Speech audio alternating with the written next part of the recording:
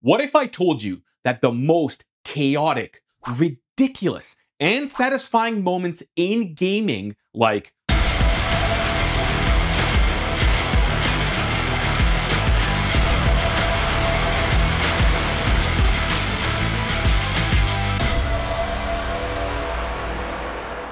are not random. Nope, they are calculated. And who's doing all this calculation? Some secret wizard tucked away in the game's code? Well, kind of.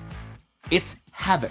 You've probably seen Havok logo flash by during the loading screen and thought, what is Havok? Who is Havok? Do I like butter? Havok isn't a game engine like Unreal or Unity. It works silently in the background, making games feel heavy and light, chaotic and unpredictable, yet perfectly calculated. Here's the big question. How did a tiny company from Dublin quietly became the backbone of modern gaming? And maybe an even better question. Why do we never talk about the software that powers over 600 of the biggest games ever made? What is Havok? Why does this matter? The simple answer, Havok is a physics engine.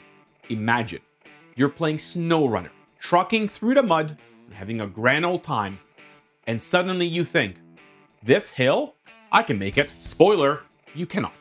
Your truck flips over, tumbles down the slope, and lands upside down in the puddle of your shattered dreams. But why did your truck fall the way it did? Why did it bounce, twist, roll in such a perfectly chaotic way? That is Havok at work. A physics engine like Havok simulates the rules of the real world. It's responsible for gravity, It is my collisions, ragdoll physics, you know,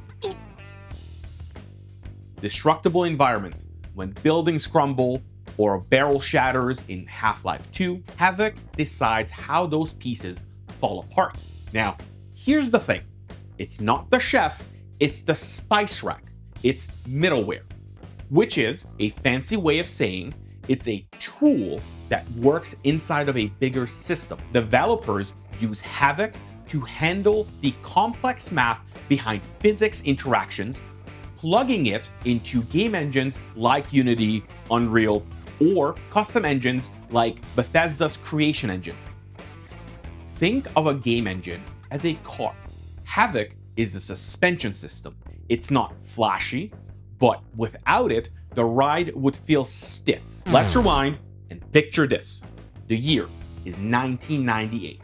Havok wasn't born in Silicon Valley. It started in Dublin, Ireland, in the offices of Trinity College. Two computer scientists, Hugh Reynolds and Steve Collins, wanted to solve a problem.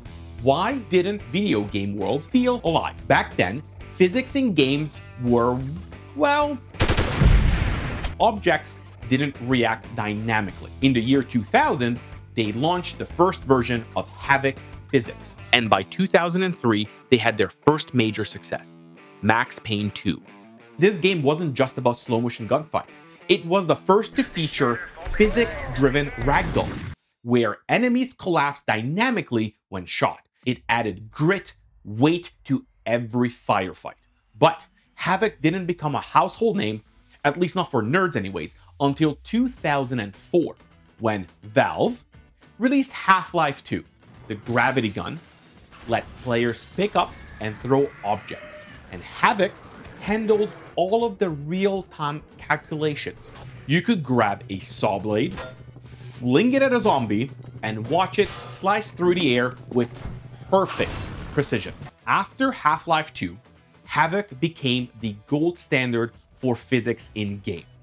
Between 2004 and 2010, it powered some of the most iconic games ever made, including Elder Scrolls 4 Oblivion, Bioshock, Fallout 3.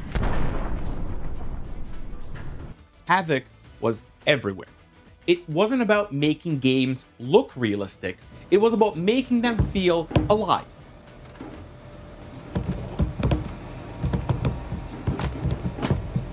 In 2007, Intel bought Havok for $110 million, seeing it as a way to optimize gaming performance on their processors. But Intel wasn't the only one with big plans for Havok. No, in 2015, Microsoft bought Havok from Intel for an undisclosed amount. Microsoft did not just want Havok for its Xbox exclusives, they integrated Havok into their Azure cloud platform, enabling developers to offload physics calculations to the cloud. But Havok isn't the only player in the physics game. No, it's often compared to NVIDIA's PhysX. PhysX, now back to Havok. Fast forward to present day, and Havok is still powering some of the most physics intensive games on the planet. Take SnowRunner as an example. In SnowRunner, every bump, roll, and stuck in a mud moment feels real because Havok is calculating the physics in real time. It's not just about making the game frustratingly realistic, it's about making every truck flip feel earned. Havok isn't flashy. It's not trying to. It's the invisible hand making your favorite games feel alive, chaotic, and endlessly entertaining.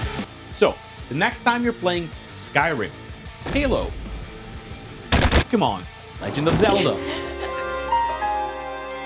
take a moment and appreciate Havok. Bye.